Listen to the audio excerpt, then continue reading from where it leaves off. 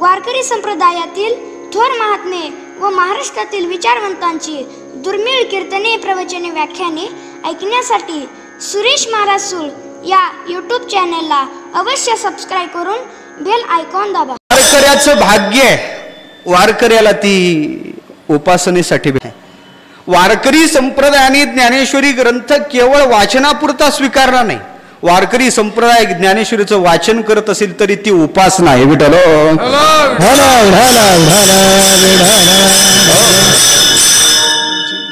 एरवी जर पाहायचं झालं तर अर्थ काय अन्य अर्थ घेतल्याशिवाय त्या ग्रंथ ग्रंथाचा काहीच उपयोग होत नाही. पण ज्ञानेश्वरीची विशेषता अशी आहे. तुम्ही ज्ञानेश्वरी पहिल्या वर्गात गेला नाही कितीतरी आज्ञा आपण पाहिलेले आहेत. महाराज मी शाळेत गेलो नाही आळंदीत आलून ज्ञानोबाराच्या दरबारात येऊन अजान वृक्षाखाली फक्त सुरुवातीला त्या ओळ्याहून असा हात फिरवत होतो बोट फिरवत होतो. आमच्या काळात एक नाव पंडित नावाचा विद्यार्थी होता. काही कुठे शिकलेला नव्हता. एका दोन तत्वनिष्ठ महापुरुष चर्चा करत बसले. त्यांनी एक ज्ञानेश्वरीची ओघ घे घेतली. हा कुठं शिकलेला नाही काही नाही. बोलते वेळेस सुद्धा त्याचं तारतम्य नव्हतं पण खऱ्या अर्थानं पाहायचं झालं ते उठून त्यांनी ते अर्थ दोघाचं अर्थचिंतन चाल चालल्यानंतर ह्या खिडकीतूनच म्हणतो अलीकडे होता की आतल्या साईडला होता. आणि आतूनच होता ओ तसा अर्थ नाही त्याचा. कोण? कोण सांगतो हे? पहिल्या वर्गात गेला नाही ज्ञानेश्वरी नाही. क का अ आ हे सुद्धा शिकलेलं नाही. ही विशेषता आहे. अन्य ग्रंथ अर्थ लक्षात घेऊनच वाचावे लागतात. पण ज्ञानेश्वरी ग्रंथ असा आहे का तुम्ही तिला वाचा. तुम्ही केवळ हात फिरवा तुम्ही त्या ओव्या वाचा वाचा वाचा. ही मा इतकी उदार आहे का तुमची अर्थाकार अशा प्रकारची वृत्ती करते. विठ्ठल ज्ञानेश्वरीची उपासना म्हणून जर तुम्ही वाचाल तर ज्ञानेश्वरी तुम्हाला अर्थ काय? तिच्या अंकावर घेतल्याशिवाय राहणार नाही देवा. म्हणून खऱ्या अर्थानं पाहायचं झालं ते भाव धरून या. अभ्यासक व्यवहारातला वाचक ज्ञानेश्वरीकडे एखादा साहित्यिक जरी वाचत असेल तर त्याचा विचार ज्ञानाचं आलंबन स्वीकारून असते. पण ज्यावेळेस ज्ञानेश्वरीकडे यायचं झालं तर ज्ञानेश्वरीचा तुम्ही उपासक मी मागे एक वेळा बोललो होतो का ज्ञानेश्वरी ही माय आहे. तिची समीक्षा करण्याच्या दृष्टीनं आपण जवळ गेल्यानंतर खरंच स्त्रीकडं आपण पाहण्याच्या दृष्टीने गेल्यानंतर ती आपले अंग झाकतच असते. पण तुम्ही उपासक म्हणून जर तिच्या अंकावर गेलात ना तर ती माता निश्चित स्तनपान दिल्याशिवाय राहत नाही. बेटा ज्ञानेश्वरीची समीक्षा करून मी कोणीतरी शहाणा आहे. मला चार ग्रंथ कळतात म्हणून मी ज्ञानेश्वरीची मीमांसा करण्यासाठी पुढं जाऊ लागलो. तर ज्ञानेश्वरी आपलं गुह्य स्वरूप खरंच त्याला दाखवणार नाही. ज्ञानेश्वरीचं लेकरू बनान तिच्या अंकावर जा. मग ती माता दुग्धपान केल्याशिवाय राहणार नाही. म्हणून वारकरी संप्रदायात ज्ञानेश्वरीची उपासना करते मी आधी सांगून आलो. वारकरी संप्रदायाचं वाचन सुद्धा हे उपासना आहे. ना- नाथ महा आपलं जनाबाई महाराज म्हणतात भाव धरून या वाची ज्ञानेश्वरी. आपलं वाचावी ज्ञानेश्वरी. नाथ बाबा म्हणतात भाव धरून या वाची ज्ञानेश्वरी. आणि जनाबाई म्हणतात वाचावी ज्ञानेश्वरी. केवळ तुम्ही ज्ञानेश्वरी वाचली. आणि ही विधी आहे. वाचन केलं आणि नंतर मग पंढरपूर डोळा पाहावी. मला असं वाटते तुम्ही तुम्ही महेशाची मूर्ती. तुम्ही चिंतन करा मी अल्पबुद्धीनं केलेलं चिंतन समोर मांडतो. ज्ञानेश्वरी वाचून पंढरी पाहणं हे विशेष फल देणार आहे. का? ज्ञानेश्वरी वाचनाने त्याची बुद्धी इतकी परिशुद्ध होते आणि त्याच्यानंतर जर त्यानं पंढरी पाहिली तर त्याला पंढरी भगवतकारच दिसू लागते.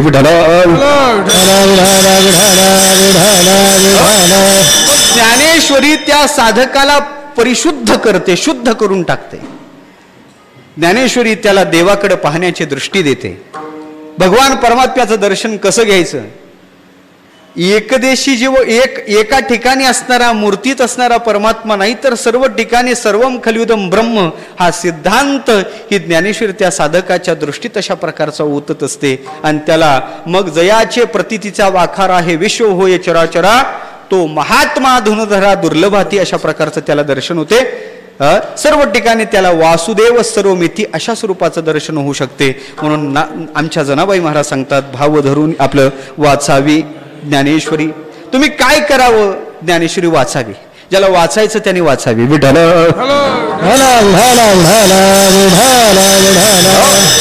ज्यांनी ज्ञानेश्वरी वाचली ते वाचलेच बरं का? म्हणून वाचावी ज्ञानेश्वरी डोळा पाहावी पंढरी. सगळ्या दृष्टीने विचार करायचा झाला तर ज्ञानेश्वरी सारखा ग्रंथ झालाच नाही. विठ्ठल वाचावी ज्ञानेश्वरी वाचावी ज्ञानेश्वरी डोळा पाहावी पंढरी. ज्ञान होय अज्ञानासी ऐसा वर या टिकेसी. ज्ञान होय मुढा अति मूर्खत्या दगडा. ज्ञान होय अज्ञानासी ऐसा वरत्या टिकेसी. वाचिल जे कोणी वाचील जे कोणी जनी त्यासी लोटांगणी. ज्ञान होय अज्ञानासी ऐसा वरत्या टिकेसी। पांडुरंगा करू प्रथम नमन। पांडुरंगा करू प्रथम नमन। पांडुरंगा करू प्रथम नमन। पांडुरंगा करू प्रथम नमन।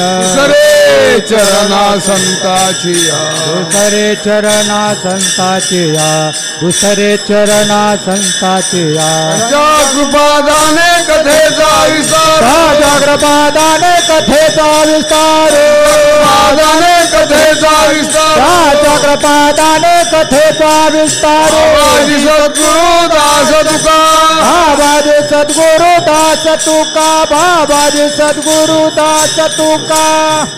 विठ्ठलं सुकरुणार्णवमाशुतोषं दिनेष्टपोषणं मगसहन्ति सिन्धुशोषं श्रीरुक्मिणीमतिमुषं पुरुषं परन्तं वन्दे दुरन्तचरितं हृदि सञ्चरन्तं. ज्ञानेशो भगवान् विष्णु निवृत्तिर्भगवान् हरः सोपाणो भगवान् ब्रह्मः मुक्ताख्या ब्रह्मचित्कला कथं यातोऽसि वैकुण्ठं मानवं देहमत्यजन् तुकाराम महासाधु। कृपया ज्ञापयस्व मां। सम्पाद्य ज्ञानञ्च विधाय भक्तिं। विलोकितो येन समाधिराजः वैराग्यवन्तं सुचारयुक्तं। नमामि जोगं शिरसा गुरुं तं विढल ढला विढल विढल विढल विढल विढल विढल वाचावी ज्ञानेश्वरी वाचावी ज्ञानेश्वरी डोळा पाहावी पंढरी. ज्ञान होय अज्ञानासी ऐसा वरत्या किंवा ऐसा वरया टिकेशी प्रस्तुत प्राप्तस्थळी. प्राप्त संगी कीर्तन रूपी सेवेकरिता निवडलेला अभंग वैराग्य रागरसे खऱ्या अर्थानं पाहायचं झालं तर चार चरणाचा ज्ञानेश्वरीचं चिंतन केल्यानंतर आपल्या जीवनात काय फलश्रुती प्राप्त होते याचं चिंतन मांडणारा संतवर्य स्त्री संतात ज्यांचं अग्रस्थान असणाऱ्या जनाबाई महाराजांचा चार चरणाचा गोड अभंग आहे विढल विढल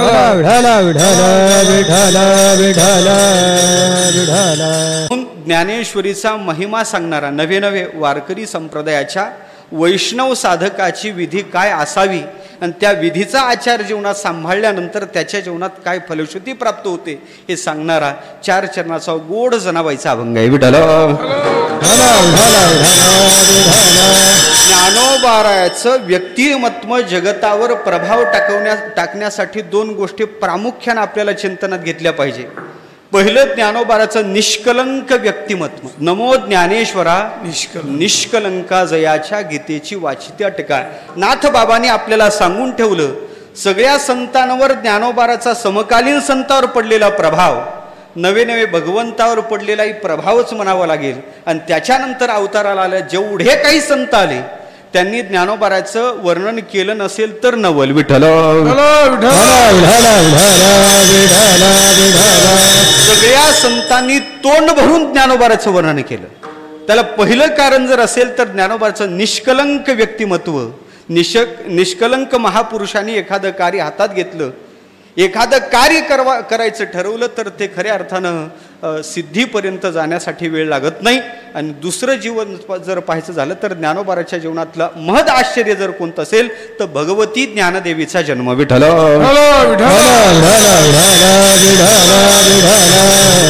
ज्ञानेश्वरी ग्रंथाची निर्मिती करून आनंदाचे आवारू मांडू जगा. या जगताला आनंद प्राप्त करून देण्याचं किंवा स्वानंद साम्राज्य अशा प्रकारचं निर्माण करण्याचं मोठं कार्य ज्ञानोबारांनी केलेलं आहे. म्हणून भगवती ज्ञानदेवीची फार महती आहे. ज्ञानेश्वरीचं वर्णन सगळ्यांनीच केलं. ज्ञानोबाराच्या दृष्टीनं ज्ञानेश्वरीचं वर्णन करायचं झालं तर ज्ञानोबारांनी ज्ञानेश्वरी हा शब्द वापरलेला नाही. ज्ञानोबारांनी दिलेला ओवी प्रबंध शब्द आहे. ज्ञानोबारांनी दिलेला धर्मकीर्तन हा शब्द आहे. ज्ञानोबारांनी दिलेला ग्रंथ नो हे कृपेचे वैभव की म्हणून कृपेचं वैभव म्हणून ज्या ग्रंथाला म्हणलेलं आहे ही शब्द ज्ञानोबारांनी ज्ञानेश्वरीच्या बाबतीत वापरलेले आहे. ज्ञानेश्वरी शब्द वापरण्याच्या बाबतीत आपल्यावर सगळ्यात मोठे उपकार जर कोणाचे असतील तर पहिले उपकार आहेत जनाबाईचे. विठाला जनाबाईनं पहिल्यांदा ज्ञानेश्वरी शब्द वापरला. जनाबाईच्या वाङ्मयात पहिल्यांदा ज्ञानेश्वरी शब्द आला. सगळ्या संतांनी तोंड भरून वर्णन केलं आपल्याला वेळेची मर्यादा आहे. प्रत्येकाचा विस्तार करण्या करणं इतका आपल्याकडे वेळ नाही. नामदेव महाराजसारख्या महान भगवत भक्तांनी सुद्धा ब्रह्म साम्राज्य दीपिका वर्णियली गीतेची टीका ब्रह्मानंद लहरी निगमवल्ली अशा प्रकारचं नामाभिधान जे देऊन जिचा गौरव केला. निगमवल्ली काय? ब्रह्मा ब्रह्मानंदाची लहरच लाटच काय? अशा प्रकारचं वर्णन नामदेव महाराजांनी ज्ञानेश्वरीचं केलं. ही विशेषता ज्ञानेश्वरीची आहे. सगळ्या संतांनी वर्णन केलं.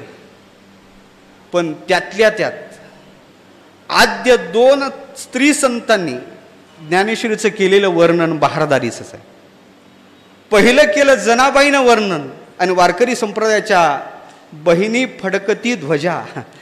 जै बहिणाबाईनं केलेलं वर्णन तर ते त्या कळसावरचाही खऱ्या अर्थानं ध्वजच आहे विठ्ठल. आधी जर सांगितलं असतं तर मला चिंतनाला तोच अभंग घ्यायचा होता. जनाबाईनं सांगितलेलं जनाबाईनं केलेलं ज्ञानेश्वरीचं वर्णन अप्रतिम स्वरूपाचं आहे. असं ज्ञानेश्वरीचं वर्णन कुठंच नाही. अशा स्वरूपाचं वर्णन आहे. जनाबाई ज्ञानेश्वरीची आरती करतात जयमाय ज्ञानदेवी. शब्दरत्न जान्हवी एका एका शब्दाचा विचार करण्यासारखा आहे. जयमाय ज्ञानदेवी शब्दरत्न जान्हवी प्रासिता तोय तुझे सुख वाटतसे जीवी. अनर्घ्य रत्न सार सिंधू मंथो निगीता काढिले भूषणासी वैराग्य भाग्यवंता. एका एका पदाचं चिंतन करण्यासारखं आहे. बहिणाबाईनं खऱ्या अर्थानं ध्वजास आप- ध्वजेसारखं वर्णन या ज्ञानेश्वरीचं केलं. म्हणून दोन स्त्री संतांवर ज्ञानेश्वरीचा झालेला प्रभाव आपल्याला पाहायला सापडते. बहिणा आमच्या जनाबाई जनाबाई म्हणतात या ज्ञानेश्वरीचा विचार काय कर करायचा? प्रत्येक अक्षराच्या गाठी भाव. आहे भाव भाव अक्षराचे गाठी. भाव अक्षराचे गाठी. भाव अक्षराची गाठी. अक्षराचे गाठी. भाव अक्षराचे गाठी. भाव अक्षराचे गाठी. भाव अक्षराचे गाठी. भाव अक्षराची गाठी.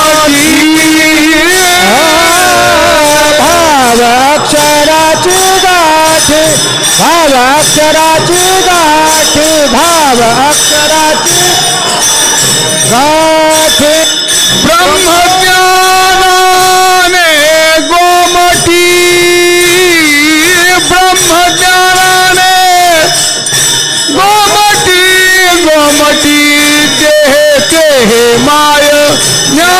ज्ञानेश्वरी ज्ञानेश्वरी तेहे माय ज्ञानेश्वरी.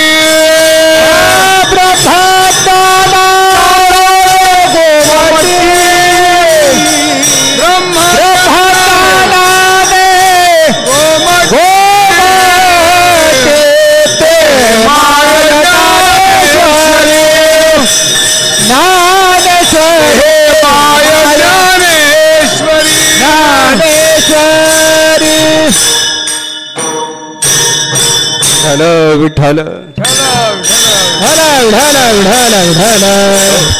खऱ्या अर्थानं पाहायचं झालं तर जनाबाई म्हणतात भाव अक्षराचे गाठी. ब्रह्मज्ञानाने गोमटी ते हे माय ज्ञानेश्वरी. हा? ती माय माय म्हणून संबोधलेलं आहे. जनाबाई मायच म्हणतात आणि बहिणाबाई मायच म्हणतात. विठाला विठाला विठाला विठाला विठाला विठाला ज्ञानेश्वरीच्या ठिकाणी मातृत्व आहे.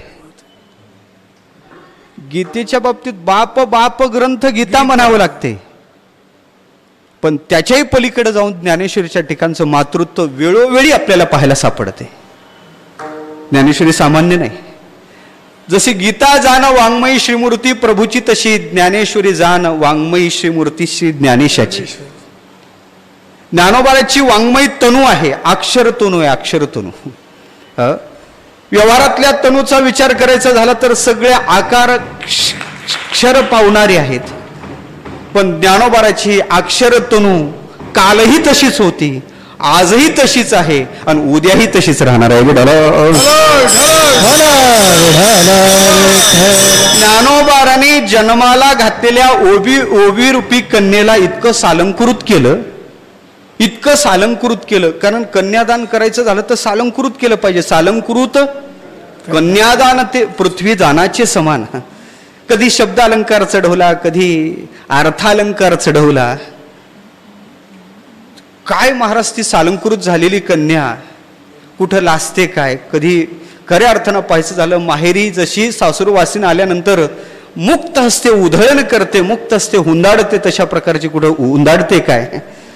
कुठं सिद्धांत त्याच्या फार आत जाऊन गुप्त स्वरूपानं राहते काय? अशी ज्ञानोबाराची ही कन्या ज्ञानोबारांनी तिला समर्पण केलं. पण कोणाला समर्पण केलं? तर आत्म्याला समर्पण केलं. ती आत्म्याशी पातिव्रत्य धर्माचं पालन करते. व्यवहारात पाहायचं झालं तर एखादी कन्या कशी असावी तिचं चिंतन करतोय ज्ञानोबाने फार गोड चिं चिंतन केलं. लावण्य गुण कुळवती आणि पतिव्रता. ज्ञानोबराच्या ओवीरूपी कन्येचा विचार करायचा झाला ती ती लावण्यवती आहे. तिच्या ठिकाणी गुणही आहे कुळवती आहे ना पतिव्रता आहे.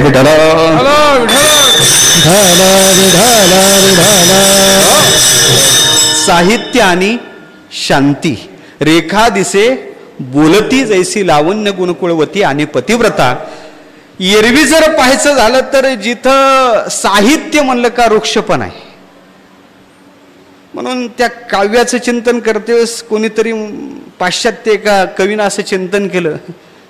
ज्याच्या तत्वज्ञानापासून जे लांब आहे तिथं त्याला खऱ्या अर्थानं पाहायचं झालं तर अलंकृत ते साहित्य करायला जमते. असं त्यानं चिंतन केलं. पण ज्ञानोबाराने ते सिद्धांत खोडून काढला. उलट वाचे बरवे कवित्व कवित्वी बरवे रसिकत्व रसिकत्वी परतत्व स्पर्शू जैसा अशा प्रकारचं हे काव्य आपली कन्या नटून अशा प्रकारचं साहित्य आणि शांती अर्थात साहित्य आणि शृंगार या- याचा संगम केला तत्वज्ञानाचा संगम केला अशी ज्ञानेश्वरी आहे. वारकऱ्याचं भाग्य आहे. वारकऱ्याला ती उपासनेसाठी भेटली. वासयात पाहायचं झालं तर ज्ञानेश्वरीच्या बाबतीत असं आहे. प्रस्थानत्रयीचा विचार करतोस काही वैदिक प्रस्थानत्रयी आहेत आणि काही खऱ्या अर्थानं पाहायचं झालं तर आपली प्राकृत वारकरी संप्रदायाची प्रस्थानत्रयी म्हणून सांगण्यात आलेली. आपण ती प्रस्थानत्रयी पाहते वेळेस गीता उपनिषद दशोपनिषद आणि ब्रह्मसूत्र. काही वैदिक प्रस्थांतरी आहेत त्यात काही न्याय प्रस्थांतरी आहेत त्यात खऱ्या अर्थानं काही स्मृती प्रस्थांतरी आहेत. या तिन्ही प्रस्थांतरीचा विचार करत वेळेस कुठं ब्रह्मसूत्राकडे जायचं झालं तर न्याय प्रस्थांतरी प्राधान्य म- म्हणून त्याचा स्वीकार करतो. गीतेकडे पाहायचं झालं तर स्मृती प्रस्थानत्रयी म्हणून त्याचा स्वीकार करतो आपण. आणि खऱ्या अर्थानं पाहायचं झालं तर उप उपनिषद म्हणलं तर श्रुती प्रस्थांतरी म्हणून त्याचा स्वीकार करतो. तिनचाही समावेश आहे. पण ज्ञानोबाराच्या या ज्ञानेश्वरीचा विचार करायचा झाला तर श्रुती स्मृती आणि न्याय या तिन्हीचाही सम्यक विचार संगम याच्यात आलेला आहे म्हणून त्रिविध प्रस्तांतरही एकत्र आलेला स्वतंत्र ग्रंथ जर कोणता असेल तर ती ज्ञानेश्वरी आहे.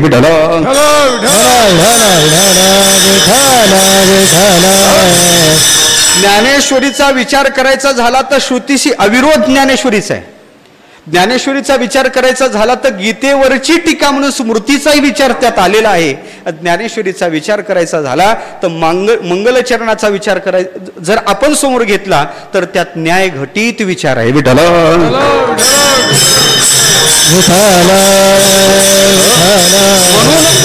खऱ्या अर्थानं ही वैदिकच आहे. एवम कांडत्रे निरूपणी श्रुतीच ही कोडीस वाणी गीता पद्य रत्नाची लेणी लिहिली माते.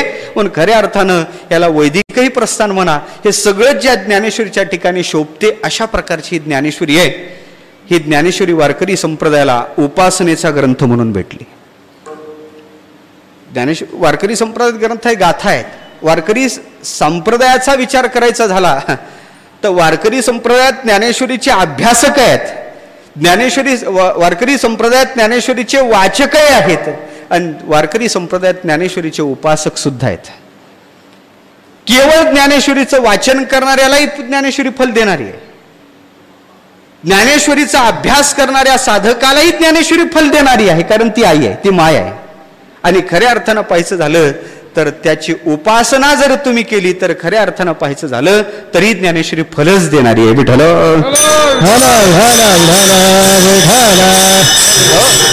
समर्थाचं घर आहे आणि समर्थाच्या घरी पंगत आहे. त्या पंक्तीत त्या मेजवानीचा जर विचार करायचा झाला तर सगळ्याला एकच पक्वान नसते समर्थाच्या पंथी भोजने तळिल्या वळिल्या एकची पक्वाने तेवी श्रवणे अर्थे पठने फळ काय मोक्षची लाभे विठाल म्हणून मराठी सारस्वताच्या सरस्वतीच्या गळातलं मंगळसूत्र ही ज्ञानेश्वरी आहे. ही ज्ञानेश्वरी सामान्य नाही. पूर्वी म्हणावं लागायचं काव्येषु नाटकम रम्य हा काव्यात नाटक रम्य आहे. त्याच्यातही शाकुंतल नावाचं कलिदासाचं नाटक अतिशय रम्य आहे. त्याच्यातही चौथांक फार महत्त्वाचा आहे म्हणतात त्या नाटकातला. आणि त्यातले शेवटचे चार श्लोक फारच रमणीय स्वरूपाचे आहेत. असं म्हणावं म्हणावं लागायचं. पण ज्ञानेश्वरीच्या बाबतीत बोलायचं झालं तर सगळ्या साहित्यात ज्ञानेश्वरी गौरवशील आहे. रम्य आहे. एवढंच नाही. ज्ञानेश्वरीचा विचार करायचा झाला तर सगळ्या साहित्यात ज्ञानेश्वरी रम्य आहे. ज्ञानोबाराच्या वाङ्मय जेवढं काही आहे त्यातही ज्ञानेश्वरी रम्य आहे. आणि सगळ्या दृष्टीने विचार करायचा झाला तर ज्ञानेश्वरी सारखा ग्रंथ झालाच नाही. विठल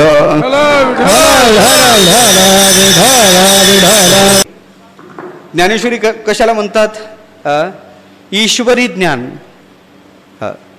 ईश्वरी ज्ञान. ज्ञानाची जी ईश्वरी ती ज्ञानेश्वरी. ईश्वर या शब्दाचा अर्थच आहे जे ईक्षण करतो नियमन करतो. ईक्षण आधी प्रवेशांता सृष्टी ऋषेन कल्पित. ईक्षण करतो नियमन करतो त्याचं ते. खऱ्या अर्थानं पाहायचं झालं तर ज्ञानाचं नियमन करणारी ज्ञान कोणाला कोणाला देते? कोणाला देते? हे या या ग्र अभंगाचा जरी सामु समग्र विचार केला तरी आपल्याला लक्षात येईल. सगळ्याला ज्ञान देण्याचं एरवी ज्ञान अधिकाराची अपेक्षा करणारं ज्ञान पण या ग्रंथाच्या बाबतीत असं म्हणावं लागते का जी सगळ्याला मुक्त हस्ते ज्ञानाची उधळण करते ती ज्ञानेश्वरी. विठ्ठल.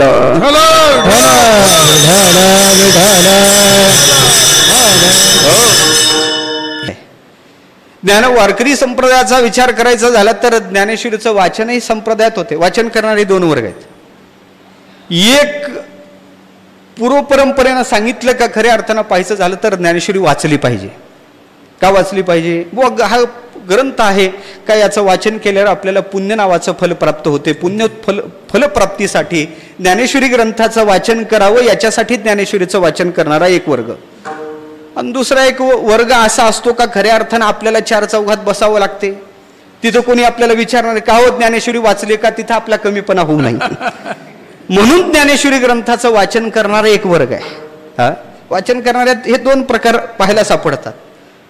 पुण्यफल प्राप्तीसाठी म्हणून परंपरेनं चालत आला. आमचे वडील वाचत होते आमचे आजोबा वाचत होते.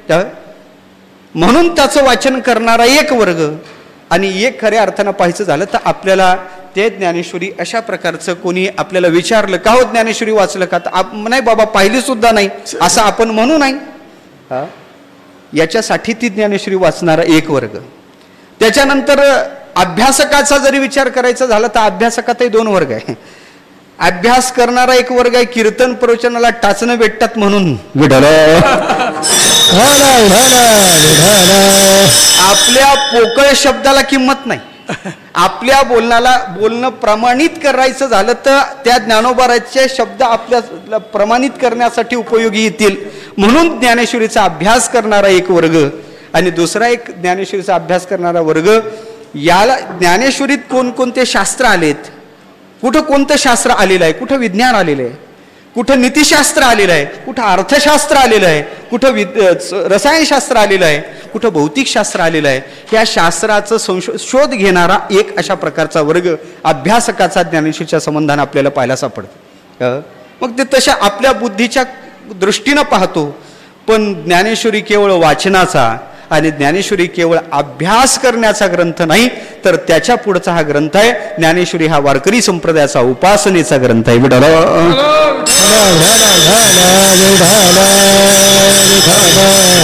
काही ग्रंथाचं केवळ वाचनच करावं.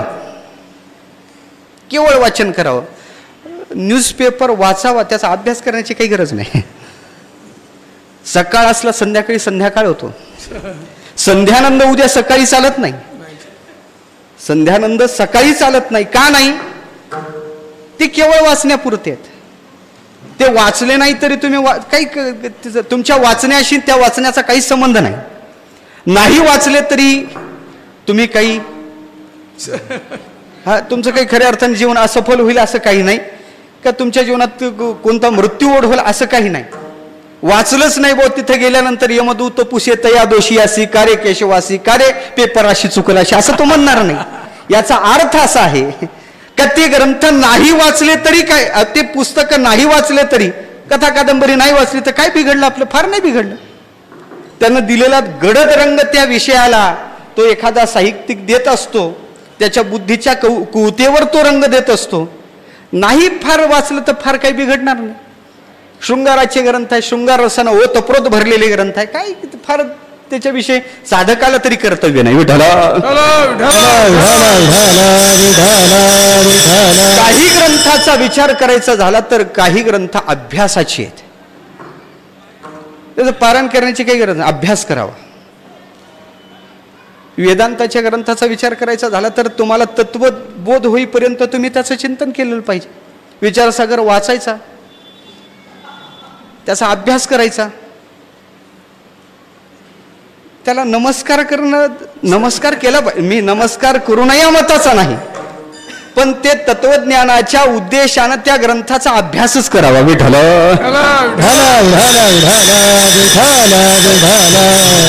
वेदांताची ग्रंथ असतील साहित्याची ग्रंथ असतील त्याचा तुम्ही अभ्यास करा. ती उपासनेचे ग्रंथ नाहीत. काही उपासनेचे ग्रंथ असतात केवळ त्याची उपासना करा. ललिता सहस्रनाम असेल विष्णू सहस्रनाम असेल त्यांची तुम्ही उपासना केल्यानंतर ती उपासनेनं त्याचा अर्थ लक्षात घेण्याची गरज नाही. विचारसागराचा अर्थ लक्षात नाही घेतला तर तुमचं बिघडेल. ब्रह्म वृत्ती प्रभाकराचा अर्थ नाही लक्षात घेतला तर त्या ग्रंथाच्या विषयी तसंच आपण अनभिज्ञ राहू. या ग्रंथाचं ज्ञान संपादन नाही केलं तर तो विषय आपला कच्चा राहील पण खऱ्या अर्थानं ती उपासनेची नाहीत म्हणून पलाव मी व धान्य धान्यार्थ तेजेत ग्रंथम अशेषवत. चौथ्या चौथ्या प्रकरणात द्वैत विवेकात त्याचं चिंतन करते सांगितलेलं आहे कुठपर्यंत तुम्ही शास्त्रीय द्वैताचा जीवनात स्वीकार करायचा आणि त्याच्यानंतर त्या शास्त्रीय द्वैताचा सुद्धा कसा त्याग करायचा याचं चिंतन विद्यारण्य महामुनीने चौथ्या प्रकरणात फार गोड अशा स्वरूपाचं मांडलेलं आहे.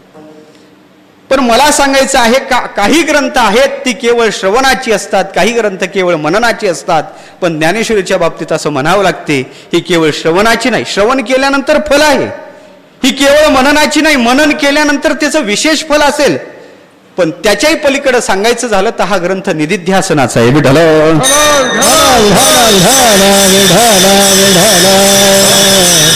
ज्ञानेश्वरी वाचा फलच आहे. ज्ञानेश्वरीचा अभ्यास करा फलच आहे. पण ज्ञानेश्वरीच्या वाचका आणि अभ्यासकापेक्षा सुद्धा ज्ञानेश्वरीचा उपासक सर्वश्रेष्ठ आहे.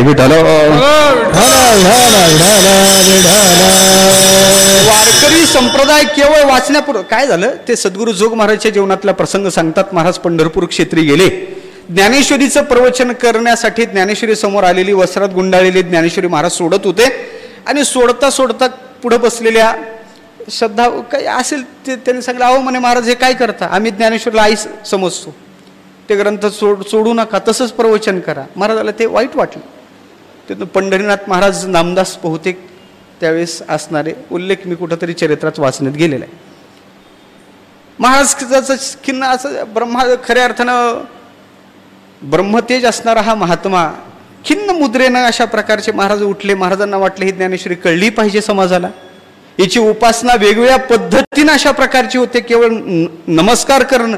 एवढीच ज्ञानेश्वरीची उपासना नाही तिचा अर्थ आत उतरवणं आणि अर्थाकार अशा प्रकारची वृत्ती करणं हाही ज्ञानेश्वर ही ज्ञानेश्वरीची उपासनाच आहे ना. महाराजाला वाटलं हा ग्रंथ हे व्हावा. महाराज थोडे खिन्न झाले त्या पंढरीनाथ महाराज नामदास महाराजांनी सांगितलं का मला नारा महाराज नाराज होऊ नका. तुम्हाला प्रवचनच करायचं ना? आपल्या नामदास मंदिरात आपलं नामदेव मंदिरात प्रवचन करा.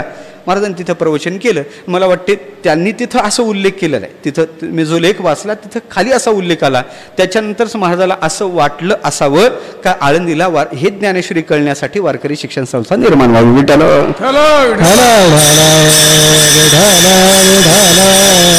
कुठंतरी मी हा लेख वाचला. मला सांगायचं काय? अशी ज्ञानेश्वरी वारकरी संप्रदायाच्या उपासनेचा ग्रंथ आहे. फार महत्वाची ज्ञानेश्वरी आहे वारकरी संप्रदाय सर्वश्रेष्ठ संप्रदाय. या अभंगात वारकरी संप्रदायाच्या वैष्णवाची विधी काय असावी?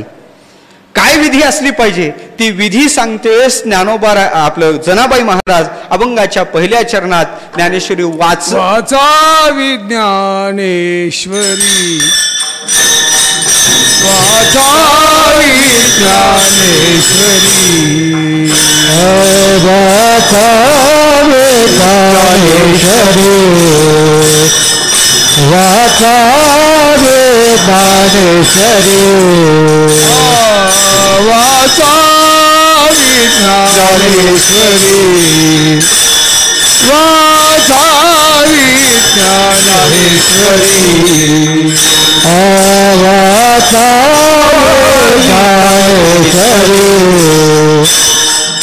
वाचावे दानेश्वरी डोळा पहावी पंढरी डोळा पहावी पंढरी ज्ञान होय अज्ञानाशी ज्ञान होय अज्ञानाशी डोळा पहावे पंढरे डोळा पहावी पंढरे दान होय आदानाचे दान होय आदानाचे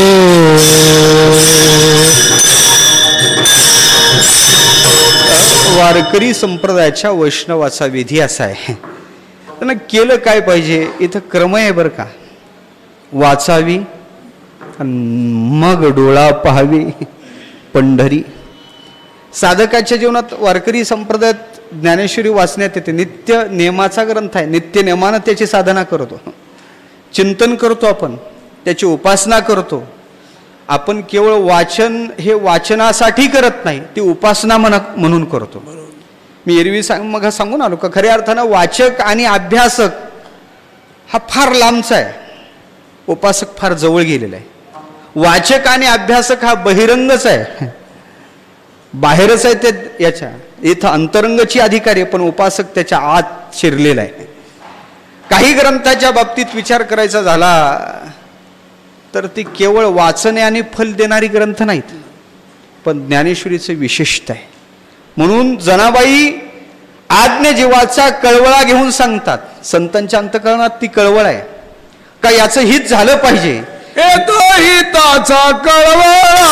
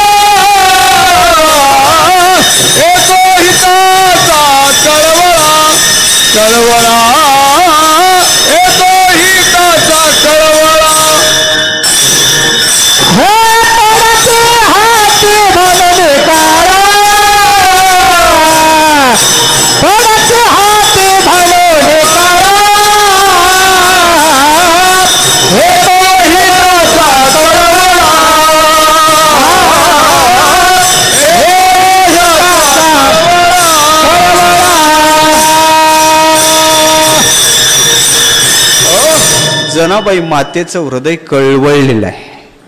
आज्ञजीवाचा कळवळा याच्यात दिसतो.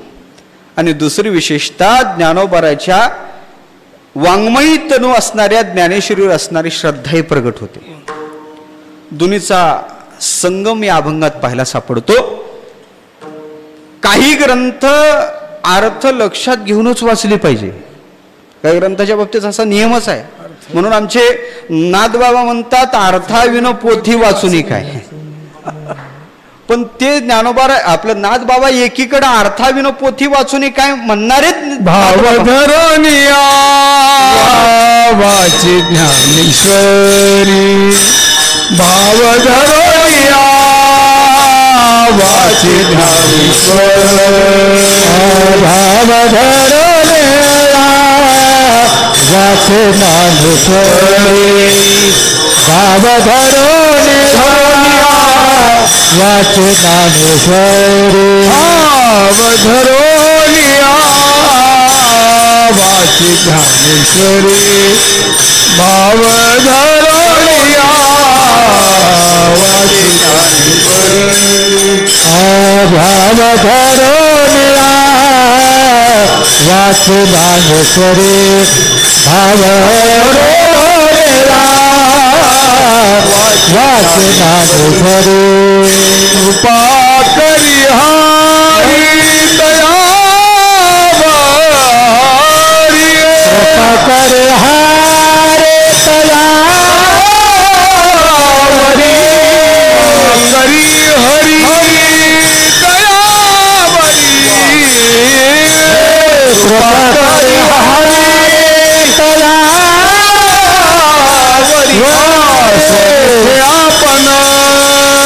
सांगितो श्रीविष्णू स्वमुखे आपण. सांगितो श्रीविष्णू स्वमुखे आपण. सांगतो श्रीविष्णू स्वमुखे आपण. सांगतो श्रीविष्णू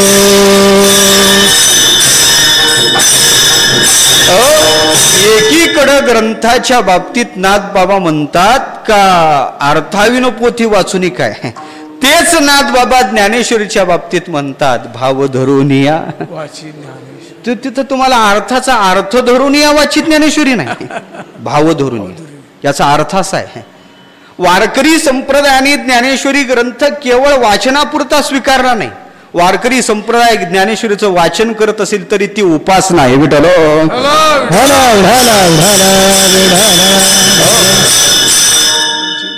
एरवी जर पाहायचं झालं तर अर्थ काय अन्य अर्थ घेतल्याशिवाय त्या ग्रंथ ग्रंथाचा काहीच उपयोग होत नाही. पण ज्ञानेश्वरीची विशेषता अशी आहे. तुम्ही ज्ञानेश्वरी पहिल्या वर्गात गेला नाही कितीतरी आज्ञा आपण पाहिलेले आहेत. महाराज मी शाळेत गेलो नाही आळंदीत आलो ज्ञानोबाराच्या दरबारात येऊन अजान वृक्षाखाली फक्त सुरुवातीला त्या ओळ्याहून असा हात फिरवत होतो बोट फिरवत होतो. आमच्या काळात एक नाव पंडित नावाचा विद्यार्थी होता. काही कुठे शिकलेला नव्हता. एक दोन तत्वनिष्ठ महापुरुष चर्चा करत बसले. त्यांनी एक ज्ञानेश्वरीची ओघ घे घेतली. हा कुठं शिकलेला नाही काही नाही. बोलते वेळेस सुद्धा त्याचं तारतम्य नव्हतं पण खऱ्या अर्थानं पाहायचं झालं ते उठून त्यांनी ते अर्थ दोघाचं अर्थचिंतन चाल चालल्यानंतर ह्या खिडकीतूनच म्हणतो अलीकडे होता की आतल्या साईडला होता. आणि आतूनच होता ओ तसा अर्थ नाही त्याचा. कोण? कोण सांगतो हे? पहिल्या वर्गात गेला नाही ज्ञानेश्वरी नाही. क का अ आ हे सुद्धा शिकलेलं नाही ही विशेषता आहे. अन्य ग्रंथ अर्थ लक्षात घेऊनच वाचावे लागतात. पण ज्ञानेश्वरी ग्रंथ असा आहे का तुम्ही तिला वाचा. तुम्ही केवळ हात फिरवा तुम्ही त्या ओव्या वाचा वाचा वाचा ही मा इतकी उदार आहे का तुमची अर्थाकार अशा प्रकारची वृत्ती करते.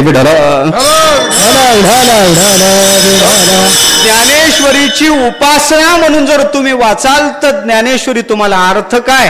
ह तिच्या अंकावर घेतल्याशिवाय राहणार नाही देवा. म्हणून खऱ्या अर्थानं पाहायचं झालं ते भाव धरून या. अभ्यासक व्यवहारातला वाचक ज्ञानेश्वरीकडे एखादा साहित्यिक जरी वाचत असेल तर त्याचा विचार ज्ञानाचं आलंबन स्वीकारून असते. पण ज्यावेळेस ज्ञानेश्वरीकडे यायचं झालं तर ज्ञानेश्वरीचा तुम्ही उपासक मी मागे एक वेळा बोललो होतो का ज्ञानेश्वरी ही माय आहे. तिची समीक्षा करण्याच्या दृष्टीनं आपण जवळ गेल्यानंतर खरंच स्त्रीकडं आपण पाहण्याच्या दृष्टीने गेल्यानंतर ती आपले अंग झाकतच असते. पण तुम्ही उपासक म्हणून जर तिच्या अंकावर गेलात ना तर ती माता निश्चित स्तनपान दिल्याशिवाय राहत नाही. बेटा ज्ञानेश्वरीची समीक्षा करून मी कोणीतरी शहाणा आहे. मला चार ग्रंथ कळतात म्हणून मी ज्ञानेश्वरीची मीमांसा करण्यासाठी पुढं जाऊ लागलो. तर ज्ञानेश्वरी आपलं गुह्य स्वरूप खरंच त्याला दाखवणार नाही. ज्ञानेश्वरीचं लेकरू बनान तिच्या अंकावर जा. मग ती माता दुग्धपान केल्याशिवाय राहणार नाही. म्हणून वारकरी संप्रदायात ज्ञानेश्वरीची उपासना करते मी आधी सांगून आलो. वारकरी संप्रदायाचं वाचन सुद्धा हे उपासना आहे. ज्ञा- नाथ महा आपलं जनाबाई महाराज म्हणतात भाव धरून या वाची ज्ञानेश्वरी. आपलं वाचावी ज्ञानेश्वरी. नाथ बाबा म्हणतात भाव धरून या वाची ज्ञानेश्वरी. आणि जनाबाई म्हणतात वाचावी ज्ञानेश्वरी. केवळ तुम्ही ज्ञानेश्वरी वाचली. आणि ही विधी आहे. वाचन केलं आणि नंतर मग पंढरपूर डोळा पाहावी. मला असं वाटते तुम्ही तुम्ही महेशाची मूर्ती. तुम्ही चिंतन करा मी अल्पबुद्धीनं केलेलं चिंतन समोर मांडतो. ज्ञानेश्वरी वाचून पंढरी पाहणं हे विशेष फल देणार आहे. का? ज्ञानेश्वरी वाचनाने त्याची बुद्धी इतकी परिशुद्ध होते आणि त्याच्यानंतर जर त्यानं पंढरी पाहिली तर त्याला पंढरी भगवतकारच दिसू लागते.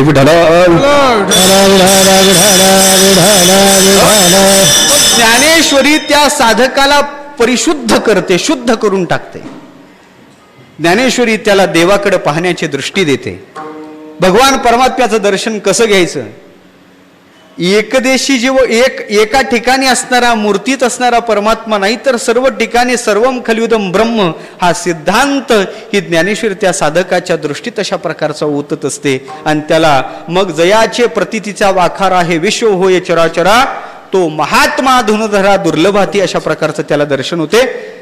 सर्व ठिकाणी त्याला वासुदेव सर्व मिती अशा स्वरूपाचं दर्शन होऊ शकते. म्हणून ना आमच्या जनाबाई महाराज सांगतात भाव धरून आपलं वाचावी ज्ञानेश्वरी. तुम्ही काय करावं? ज्ञानेश्वरी वाचावी. ज्याला वाचायचं त्याने वाचावी. विठ्ठल.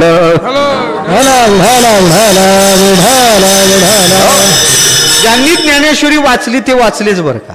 म्हणून वाचावी ज्ञानेश्वरी डोळा पाहावी पंढरी. मग तुम्ही ही ज्ञानेश्वरी वाचण्याचाच आग्रह का धरता? तर ज्ञान त्या जनाबाईनं सांगितलं ही विशेषता या ग्रंथाला हे ग्रंथच असा आहे. काही ग्रंथ मी आधीच सांगून आलो अर्थ लक्षात घेऊन वाचावे लागतात. पण ज्ञानेश्वरी असा ग्रंथ आहे अर्थाकार अशा प्रकारची वृत्ती करणारा बुद्धी करणारा अशा प्रकारचा ग्रंथ आहे. त्या अर्थाकडे जाण्याची गरज नाही. तो अर्थ आपोआप आपल्याला अशा प्रकारचा प्राप्त होणार आहे. म्हणून तुम्ही ही केवळ ज्ञानेश्वरी वाचली ना तर होईल काय? म्हणे होईल काय? जनाबाई अभंगाच्या दुसऱ्या चरणात सांग ज्ञान होय! ज्ञान होय! ज्ञानासी ज्ञान हो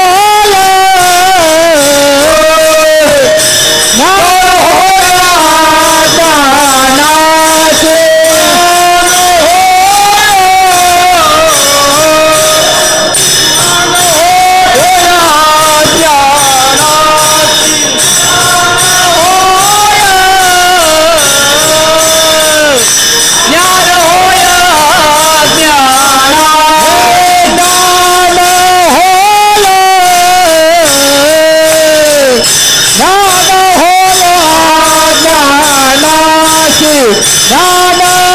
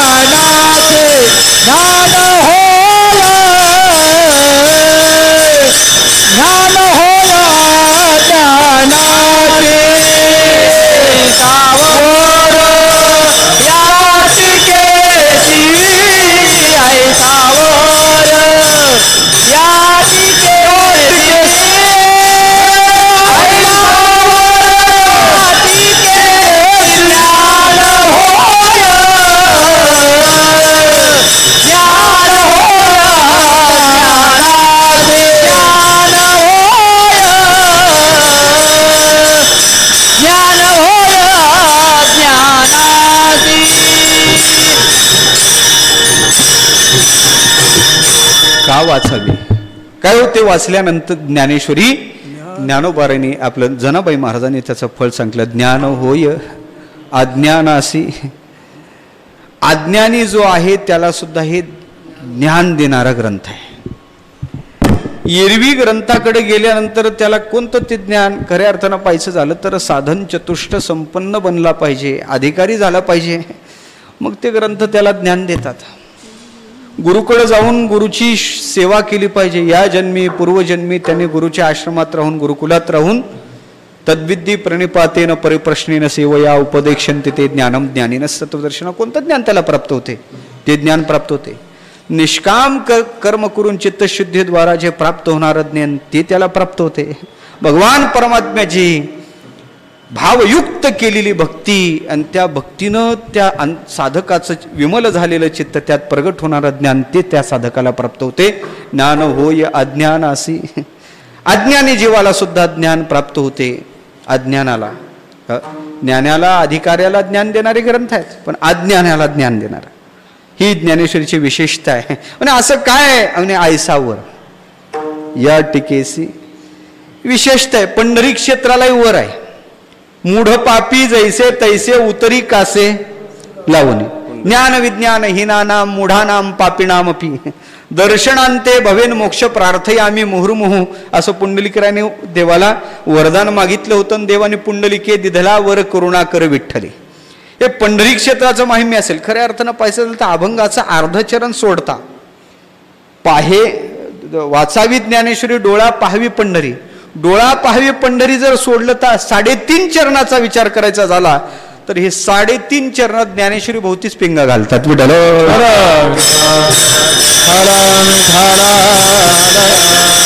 सांगितलं? मी आधीच सांगितलं. ज्ञानेश्वरी वाचून मग जे झालेली वि- विमल दृष्टी त्यानं पंढरी पाहिली. ते फल काही वेगळंच आहे. हे स मी वैष्णव साधकाची विधी आहे म्हणून सांगितलं. ते ज्ञान ते विमल ज्ञान ते ज्ञान पैगा बरवे जरी म्हणी अति आणावे तरी संताया भजावे सर्वस्वेसी. ते बरव ज्ञान अ, बाधित न होणारं ज्ञान योग्य प्रमाणानं प्राप्त होणारं ज्ञान. मी तर असंही म्हणेल ते वृत्ती ज्ञानही नाही देवा. अ, त्या वृत्ती ज्ञानाला सुद्धा जिथं त्याचाही वृत्ती ज्ञानाचाही जिथं लय होते आणि जे स्वरूपकार करते असणार असं जे शुद्ध ज्ञान आहे ते ज्ञान ही टीका देणार. ऐसा वर या टीकेसी वरात फारच साम सामर्थ्य असते. पंढरी क्षेत्राला वर आहे आणि तसा या ग्रंथालाही वर आहे. बहुतेक काही ग्रंथाला पाहायचं झालं तर ते शापयुक्त असतात. काही ग्रंथाला शाप आहे. आता ते घड्याळ समोर गेलं. भरपूरशा ग्रंथाचा विचार करायचा झाला तर तुम्हाला शाप विमोचन करून त्या ग्रंथाचे चिंतन करावं लागते. त्याचे दोन तीन विचार आहेत. त्या ग्रंथाला ते शापित का केलं? त्याचं कारण त्या ग्रंथात असणारं कधी कधी एवढं तेज असते ते सामान्याला सहन होण्यासारखं नसते. म्हणून ती एक लीला खेळून त्या ग्रंथाला शापित केलं असेही काही उपासनेचे ग्रंथ आपल्याला पाहायला सापडतात. आणि काही ग्रंथाचा विचार करायचा झाला तर त्या ग्रंथाला अप्रतित यश प्राप्त का झालं नाही ते शापितच झालेले आहेत. कितीतरी ग्रंथ आहेत कितीतरी का आपल्याला कवीचे ग्रंथ पाहायला सापडतात. पण खऱ्या अर्थानं पाहायचं झालं तर हा ग्रंथ शापित नाही हा वरदान देणार आहे. जसं गीतेच्या बाबतीत गीता काय मंत्र प्रतिपाद्य भगवती. गीता जाण सप्तशती मंत्र प्रतिपाद्य भगवती. ही भगवती आहे.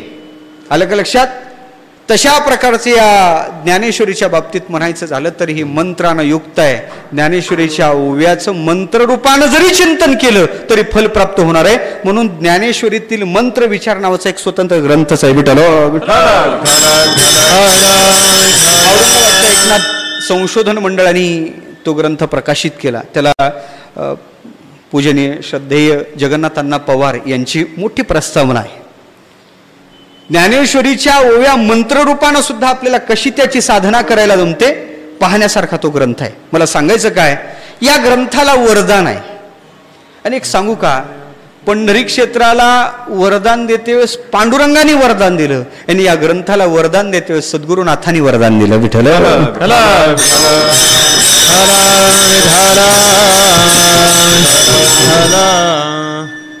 ग्रंथाला पंढरी क्षेत्राला वरदान देते वेळेस विश्वात्मक परमात्म्यानी वरद विश्वरूप परमात्म्याने वरदान दिलं. आणि ज्ञानेश्वरीला वरदान देते वेळेस विश्वात्मक असणाऱ्या सद्गुरुनाथांनी दिलेलं वरदान आहे. विठ्ठल! हे वरदान प्राप्त करण्याच्या पाठीमाग खऱ्या अर्थानं पाहायचं झालं तर त्यांच्या अंतःकरणात असणारी जीवाची तळमळच आहे.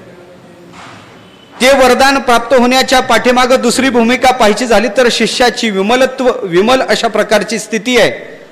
निरअहंकारपणा त्याला कारण आहे. किंबहुना तुमचे केले धर्म कीर्तन हे सिद्धी नेले. येथ माझे जी उरले पायिकपण शिष्याच्या ठिकाणी कोणता भाव असावा?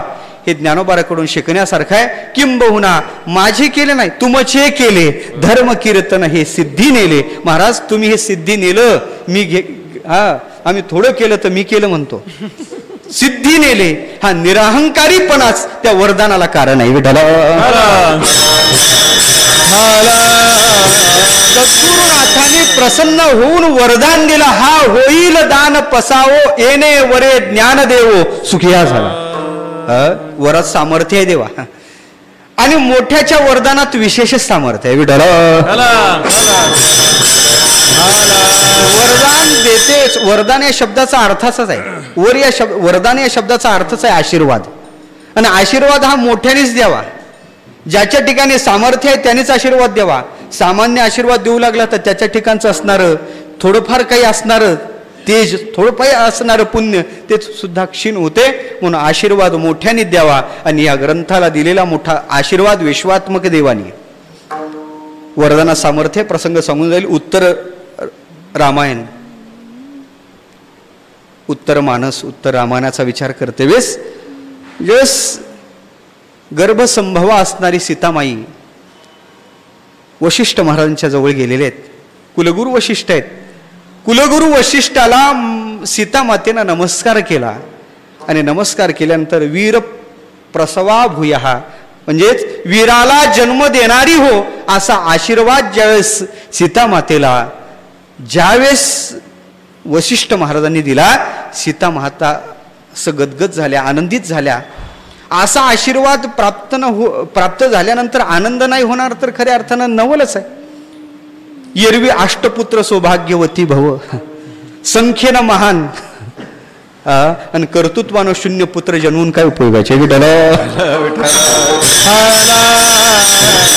नाही तर कौरव शंभर होतेच की हो. पण काय केलं त्यांनी?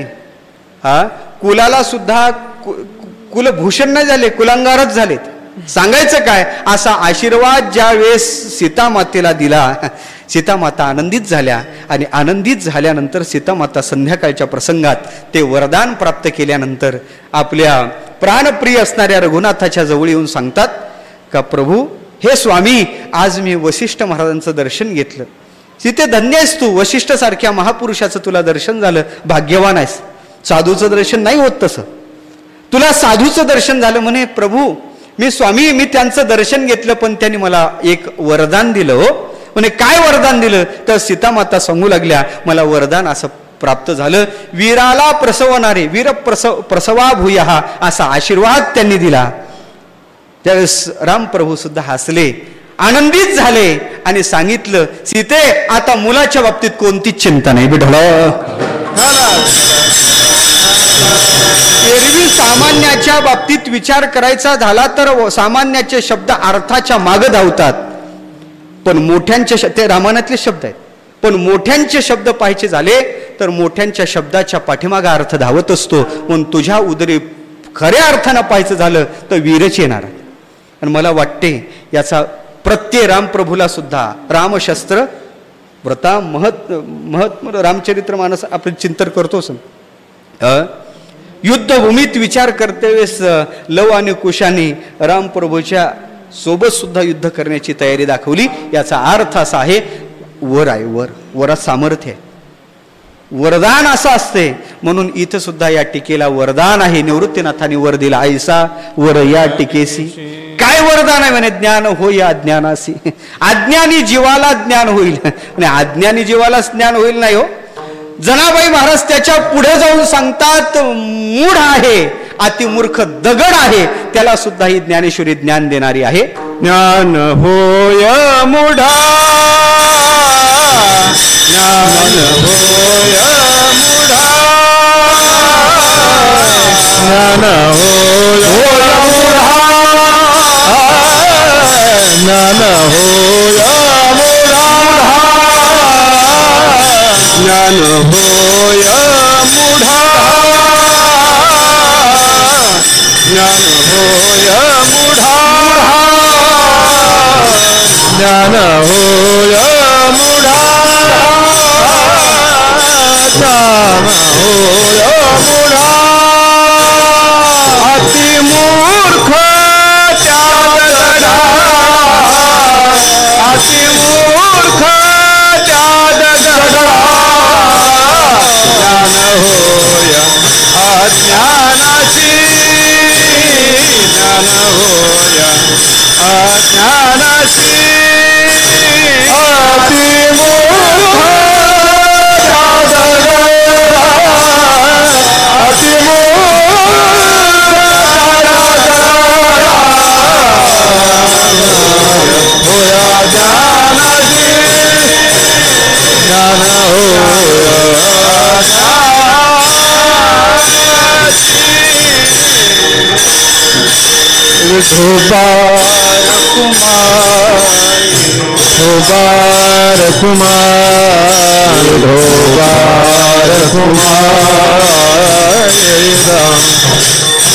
Hey,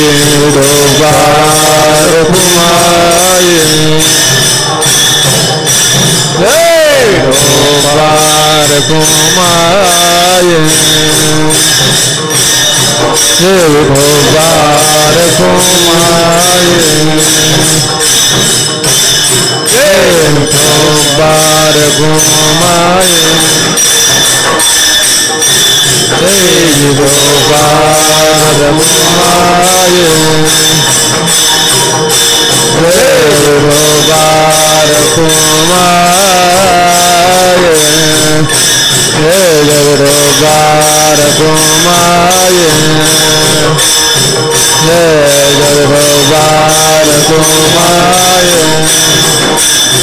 Hey! miles. போலா புங்கடி அறிவிட்டு ஸ்ரீ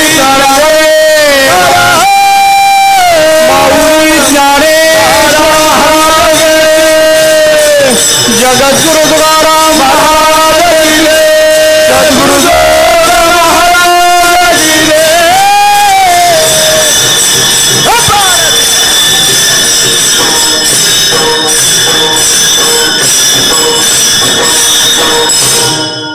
वाचावी ज्ञानेश्वरी डोळा पहावी पंढरी. काय वाचल्यानंतर काय होईल? जनाबाई सांगतात का खऱ्या अर्थानं ज्ञान होय मुढा अति मूर्ख त्या दगडा. दुसऱ्या चरणात म्हणतात आज्ञानाला ज्ञान होय. तिसऱ्या चरणात म्हणतात ज्ञान होय मुढा. त्याच्या पुढची भूमिका आहे. आणि त्याच्याही पलीकड अति मूर्ख त्या दगडा. ज्ञानोबाराने दगडावर जरी कृपा केली ना देवा तरी त्याचं मंदिर होते हो. नेवाशाचं काय? केवळ ज्ञानेश्वरी ऐकली ना त्यानं. ज्ञानोबाराय ज्ञानेश्वरी सांगत होते सहज रिकामे तोंड करू गेले बडबडत गीता ऐसे गोड आतुडले का विशेषत्वानं पाहायचं झालं तर डलो.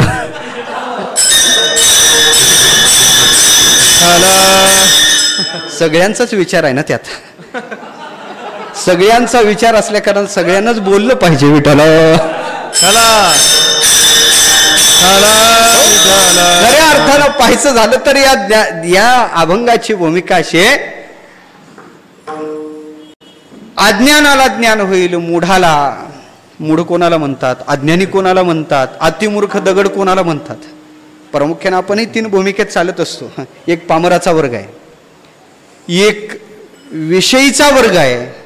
एक जिज्ञासूचा वर्ग आहे किंवा मग मोक्षूचा वर्ग आहे. खऱ्या अर्थानं पाहिजे झालं तर या तीन भूमिका इकडे लावायला काही हरकत नाही. अज्ञानी म्हणते वेळेस खऱ्या अर्थानं त्याला आणखीन ज्ञान झालं नाही. जिज्ञासा ज्ञातूम इच्छा आहे त्याच्या ठिकाणी. तो मुमुक्षू आहे. मोक्षाची इच्छा आहे. साधन चतुष्ट संपन्न बनलेला आहे. तो अज्ञानी म्हणा. मूढ नये त्याची करी श्रेष्ठाची या. हा. त्याला मूर्ख म्हणा मूढ म्हणा. मोहग्रस्त बुद्धीचा आहे. विषय त्याचे मूढो मूढोहम नाभी जानाती। तो मूड आहे आणि अतिमूर्ख दगड. त्याला पामर म्हणा. खऱ्या अर्थानं योग्य अधिकार्याला ज्ञान देण्याचं सामर्थ्य अन्य ग्रंथाच्या ठिकाणी असेल हो. पण या ग्रंथाची विशेषता आहे. जनाबाई म्हणतात केवळ तुम्ही श्रद्धेनं उपासना म्हणून ज्ञानेश्वरी वाचली ना तर अज्ञानाला ज्ञान होईल. मुमुक्षुला ज्ञान होईल. एवढंच नाही. त्याच्यानंतर पाहायचं झालं तर विषयीलाही ज्ञान होईल आणि मुक्ता आपलं त्या पामराला सुद्धा ज्ञान होईल. म्हणून ज्ञान होय मुढा अतिमूर्खत्या दगडा. महत्त्वाचा प्रश्न पडतो आम्हाला ज्ञानाची गरज काय? विढळ आम्हाला पंक्तीची गरज आहे का ज्ञानाची गरज आहे? विढळ पाहायचं झालं तर क्षुधा शांत होण्यासाठी अन्नाची गरज आहे. ज्ञानाची काय गरज आहे? ज्ञान नाहीच प्राप्त झालं तर अज्ञानाचं काय बिघडलं? ज्ञान नाहीच प्राप्त झालं तर मुढाचं काय बिघडलं? ज्ञान नाहीच प्राप्त झालं तर त्या अतिमूर्ख असणाऱ्या दगडाचं म्हणजे पामराचं काय बिघडलं? ज्ञानाची गरज काय? आवश्यकता काय? त्याच्यानंतर ज्ञानाचं स्वरूप काय? आणि त्याच्यानंतर पाहायचं झालं तर या ज्ञानाचं फल काय? कशासाठी ज्ञान प्राप्त करायचं? विचार करण्यासारखं आहे. कोणतं ज्ञान होईल? ते ज्ञानही कोणतं आहे ते त्याचाही विचार केला पाहिजे. ज्ञानाची गरज आहे देवा. ज्ञानाशिवाय जीवन कृतार्थ होत नाही. अन्नानं क्षुधात शांत होईल. जीवन जगण्यासाठी अन्न पाहिजे आणि जीवन सफल करण्यासाठी ज्ञान पाहिजे. बिडाला. घड्याळ समोर गेलेलं आहे. बृद्धारण उपनिषदाचा विचार करते वेस. याज्ञवल्क्य ऋषीचं फार गोड चिंतन आलेलं आहे. दोन पत्नी आहेत. एकीचं नाव मैत्रेयी आणि दुसरीचं कात्यायनी. आपल्याला प्राप्त झालेला ते जीवनमुक्तीचं सुख अनुभवण्यासाठी याज्ञवल्क्य महर्षी आरण्याच्या वाटेनं निघलेत. आरण्य ऋषीला असं वाटलं आपली जी भौतिक संपत्ती आहे आपल्या पाठीमागं आपण पाणीग्रहण दोघीचं केलेलं आहे. आपलं काही कर्तव्य आहे. त्याचे विभाग त्यांनी केले विभाग. दोन विभाग सारखे केले. आणि दोन पत्नीला बोलावलं आणि सांगितले दोन्ही विभाग तुम्ही एक एक विभाग घ्यायचा आहे. कात्यायनं एक विभाग उचलला. ते धन स्वीकारलं. जी मैत्री होती म्हणे महाराज हे तुम्ही विभाग इतक्या लवकर करून तुम्ही जात कुठं आहात? त्या त्या याज्ञवल्क्य महामुनीने सांगितलं देवी मी माझ्या आत्मचिंतनासाठी अरण्यात तो आत्म अनुभव खऱ्या अर्थानं उपभोगण्यासाठी अरण्यात जात आहे. त्यास त्या मैत्रीनं वि विचारलेले प्रश्न फार गोड आहेत. ते सांगितलं प्रभू स्वामी खऱ्या अर्थानं पाहायचं झालं तर या धनाची जीवनात आवश्यकता आहे का? हा प्रश्न तिनं केल्याबरोबर याज्ञवल्क्यांनी विचार घेतला म्हणे देवी जीवन जगण्यासाठी धनाची आवश्यकता आहे. यानं तुला भौतिक संपत्ती होईल. पण त्यावेळेस याज्ञवल्क्यांना दुसरा प्रश्न मैत्रीने विचारला जीवन सफल करण्यासाठी धनाचा उपयोग आहे का? त्यास याज्ञवल्क्य ऋषी हसले आणि सांगितलं देवी आत्मज्ञानाशिवाय जीवन सफलच होऊ शकत नाही. धनाचं मी करायचं काय? मला हे धन नको. त्या धनाचा त्याग तिनं केला.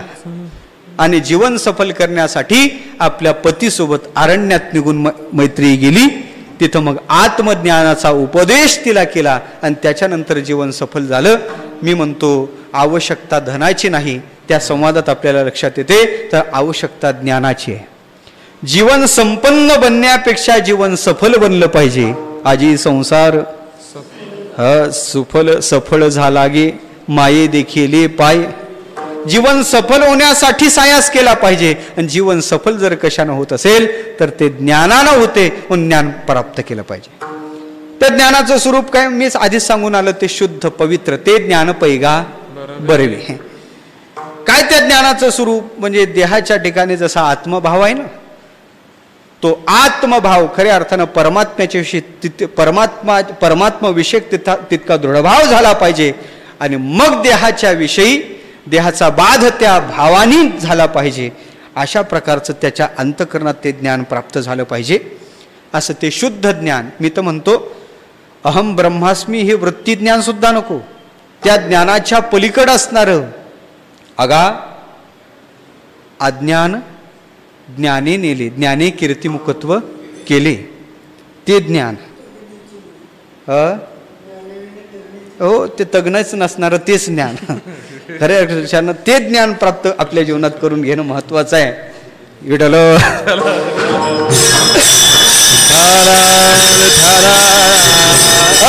ते ज्ञानाचं स्वरूप आहे आणि खऱ्या अर्थानं पाहायचं झालं तर त्या ज्ञानाचं फल जर काय असेल तर त्या ज्ञानाचं फल आहे आत्यंतिक दुःखाची निवृत्ती आणि परमानंदाची प्राप्ती ते शुद्ध ज्ञान हे ज्ञानाचं ते शेवटचं फल त्याच्या जीवनात प्राप्त होते. केवळ ज्ञानेश्वरी वाचना वाचनाने. मग काय म्हणतील का हो? केवळ बाकीचे साहि साधना आहेत ना? साहित्य आहेत ना?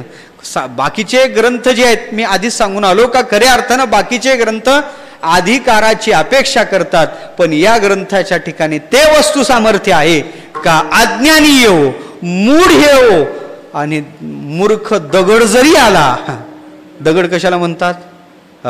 जे हालत नाही चालत नाही बोलत नाही आता घड्याळ संपत आलं नाही तर दृष्टांत सांगितला असता असा दगड जरी आला तरी ज्ञानेश्वरी तो वाचू लागला ना तरी त्याला ते ज्ञान प्राप्त होईल. म्हणून ज्ञान होय मुढा अतिमूर्ख त्या दगडा. जनाबाई म्हणतात असा सर्वश्रेष्ठ ग्रंथ आहे. ज्ञानोबाराची ती वाङ्मय तणू आहे. ज्ञानोबारा म्हणजे ज्ञानाला फुटलेले हातपाय आहेत. आणि अशा त्या अक्षर ज्ञानोबाराच्या तनुला जे वाचन करेल ना उपासना म्हणून जो वाचन करेल ना जनाबाई म्हणतात मी त्याला लोटांगण घालतो अभंगाचं शेवटचं चरण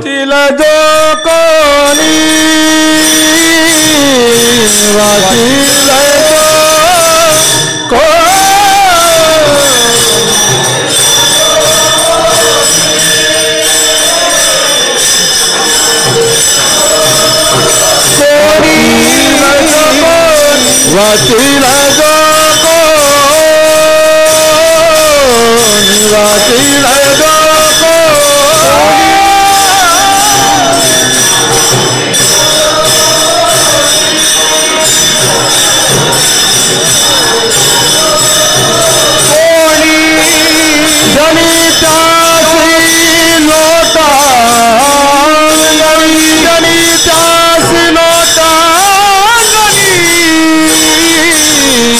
ज्ञान होया अज्ञानाची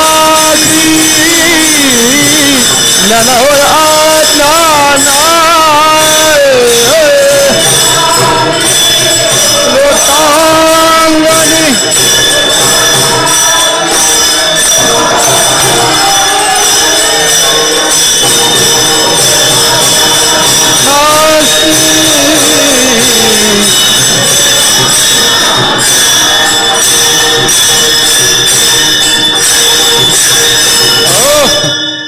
जो ज्ञानेश्वरी वाचतो जनाबाई म्हणतात मी त्याला लोटांगण घालतो.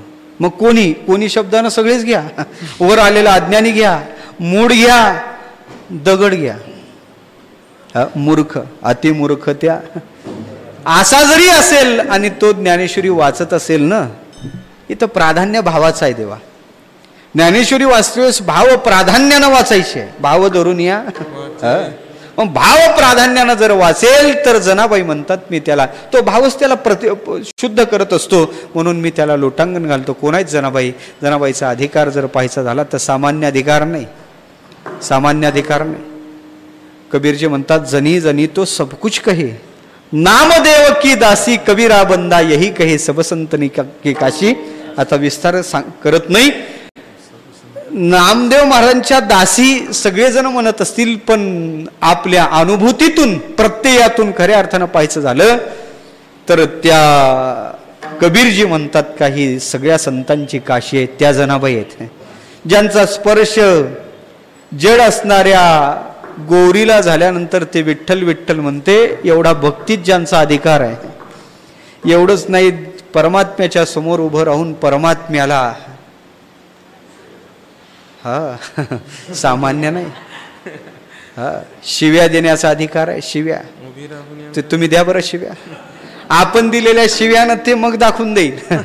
पण ज्यांच्या शिव्या हसत असे शिव्या देता त्या गवळणी. भगवान परमात्म्याने त्यांच्या शिव्याही सहन करावा इतका परमार्थातला ज्यांचा उच्च अधिकार आहे. अरे अरे विठ्या मुळ मायेच्या.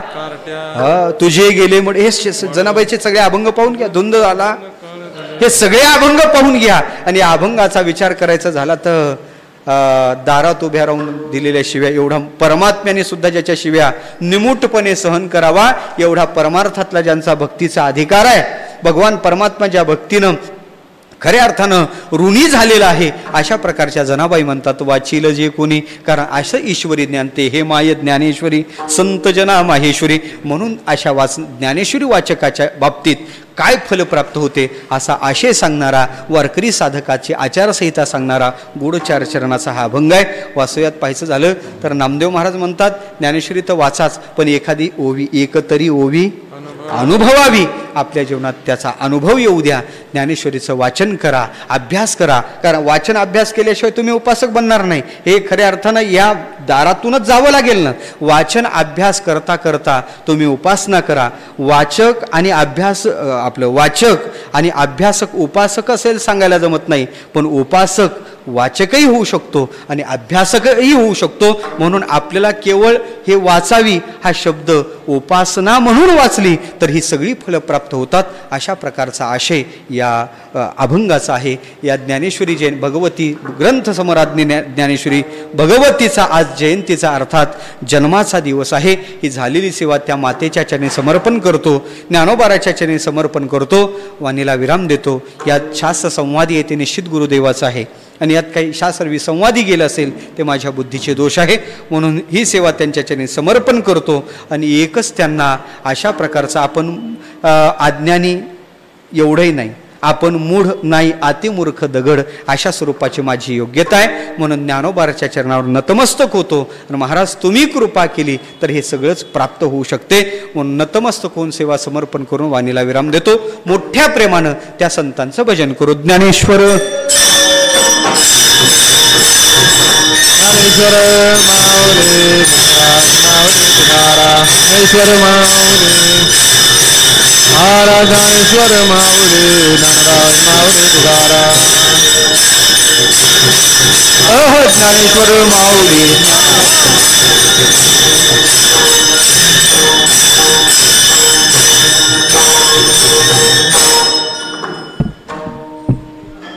धावती म्हणा हा धावती म्हणा धावती. कृष्ण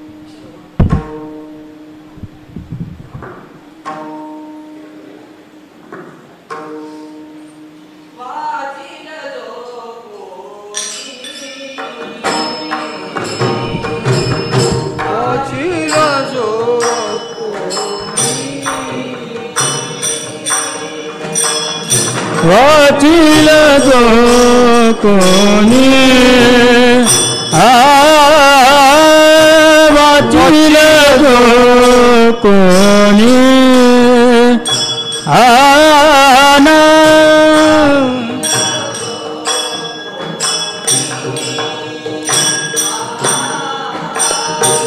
वाचिल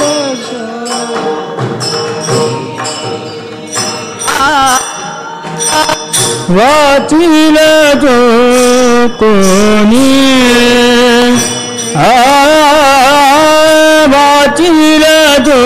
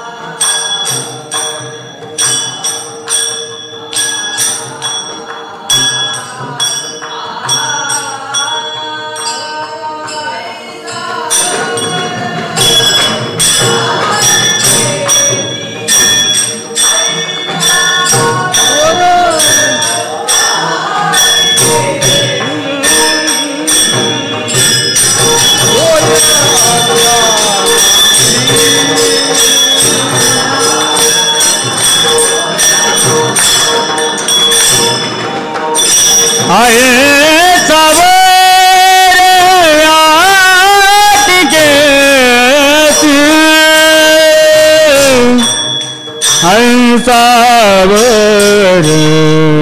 आ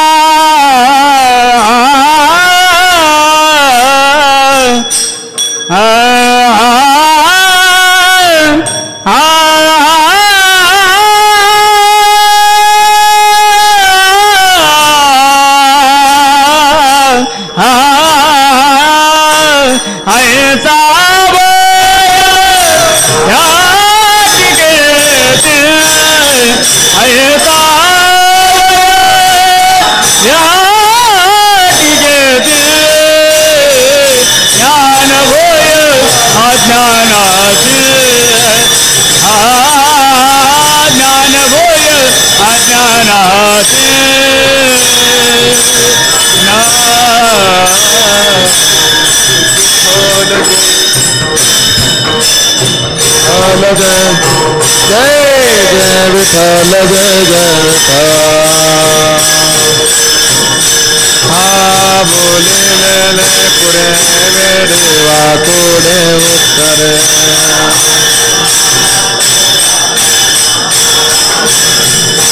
हा नाही विचारिला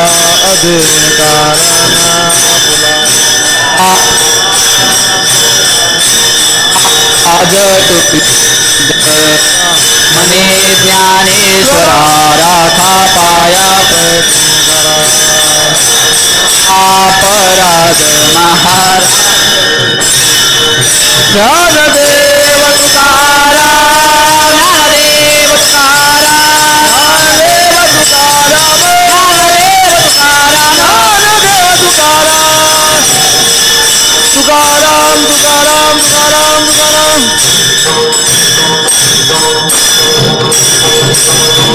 पुंडलिक वरदार विठ्ठल श्री ज्ञानदेव माऊली ज्ञानेश्वर महाराज की जगद्गुरु तुकाराम महाराज की सद्गुरु